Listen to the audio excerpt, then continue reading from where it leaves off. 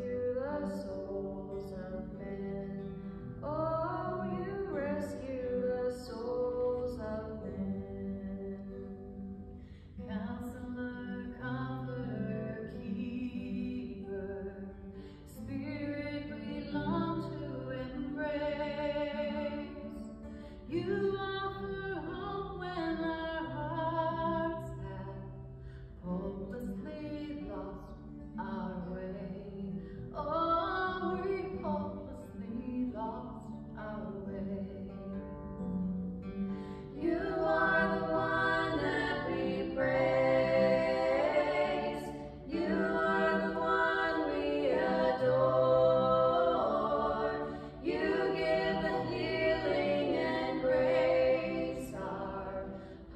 always hunger.